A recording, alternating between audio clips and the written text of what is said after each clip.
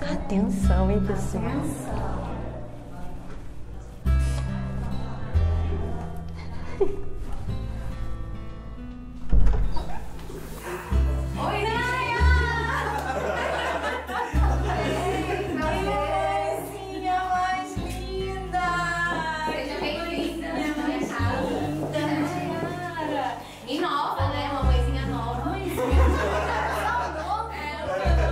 Mas que legal, e você tá na expectativa já. Super, super ansiosa pra ver Vamos lá? né? Pois é, ela tá na expectativa, eu também estou na expectativa. Vamos lá, porque o Emanuel tá chegando. E a Nayara vai chegar primeiro, porque ela vai abrir a porta desse quarto lindo. Pode abrir? Pode? Pode.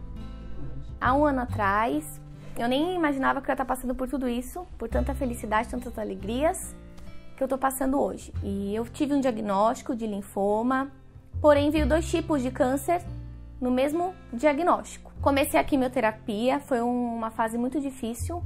Fiz uma quimio muito forte, com 15 dias meus cabelos já caíram, já fui parar na UTI, peguei uma bactéria do meu próprio organismo. Como sou uma mulher de muita fé, sempre crendo que a minha cura, meu milagre, estava próximo de chegar. O médico pedi- pediu para refazer o exame por conta desse diagnóstico de dois cânceres, né?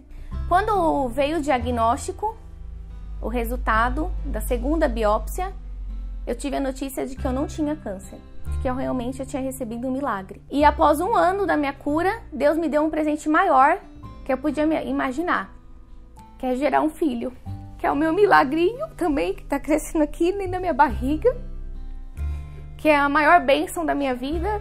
Meu filho é super saudável, forte, tá gordo, enorme.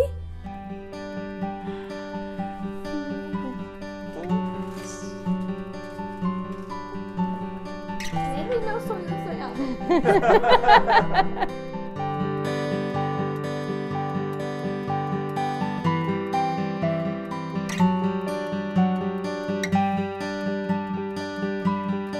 E eu tava mexendo na internet, no celular e vi, através do Instagram da Aline Barros, que tava tendo esse, esse Concurso. concurso, né? Essa, essa premiação da Grão de Gente. Falei, vou escrever uma frase e vou tentar a sorte, né? Que Deus me abençoe.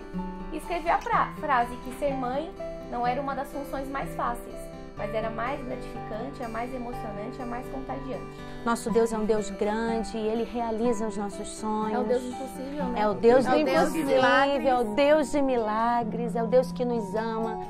É isso, gente. Ficamos por aqui com a alegria dessa família, a alegria da Nayara, a alegria do Leandro e do Emanuel, que realmente chegou para trazer muita festa, muita alegria para dentro dessa casa.